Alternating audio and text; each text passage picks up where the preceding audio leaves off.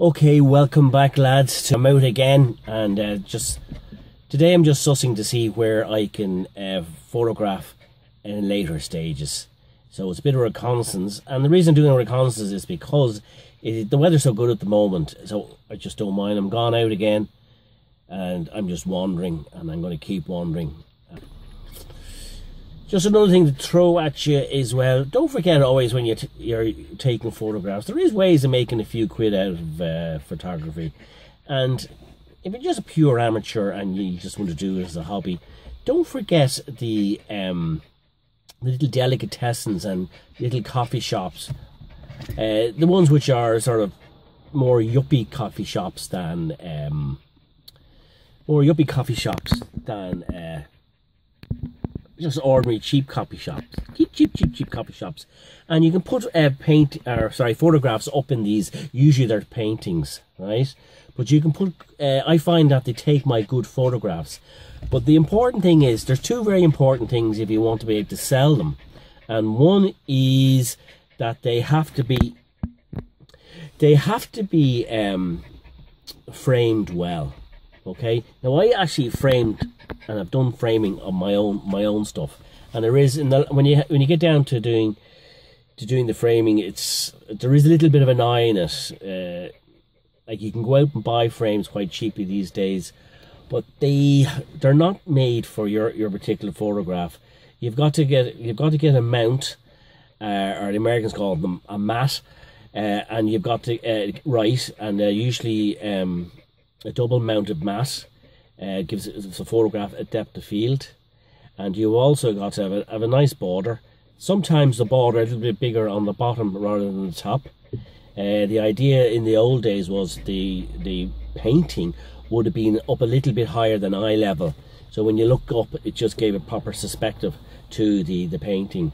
So but with uh, photographs obviously works just as well away when you put them in these places if you put them into a small a small villagey area, like where I'm in a village, a small town, or wherever you are, make the photograph of that area. Don't take a photograph outside the area. Take the. I have to, I have to keep looking behind me. I'm sort of parked in a funny spot. Uh, you have to make sure it relates to exactly the closest to, to to where you are nearly, or if there's some monuments or old buildings or something artistic uh, related to the area, they will sell. But if you take uh, a, photograph, a beautiful, beautiful photograph, but it might be of a city, uh, which you're not, where you're not actually in it, where the painting's not for sale. It doesn't relate and it won't sell. Um, I've gone through it and I made money that way. And uh, there's a few other little tricky things, but that's the basics. So don't forget about that now. All right, we'll keep on driving now. Okay.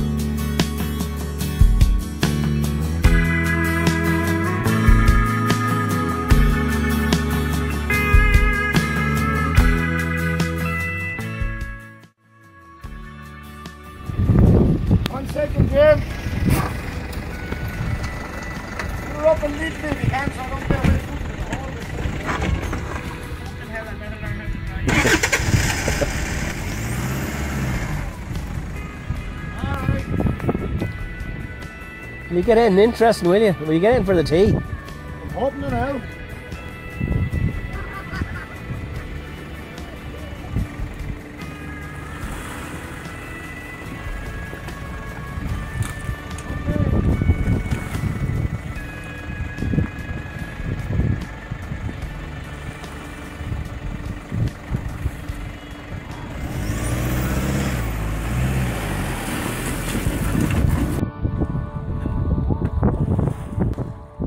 For a nice place or something off you. You're in a nice place. Jesus, fuck that. After coming up the hill there. I'm not as young as I used to, I'm out of friggin' breath. I was gonna say to you, yeah, just talking that fisherman there, and I said, if you're going fishing there, give me a nice place. And he says, the only thing you're getting is that you're in a nice place.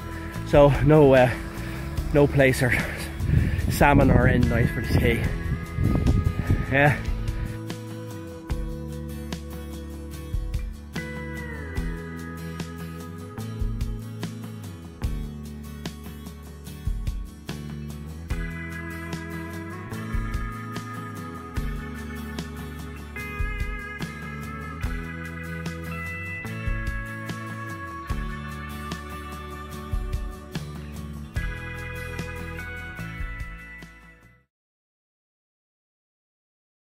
Thank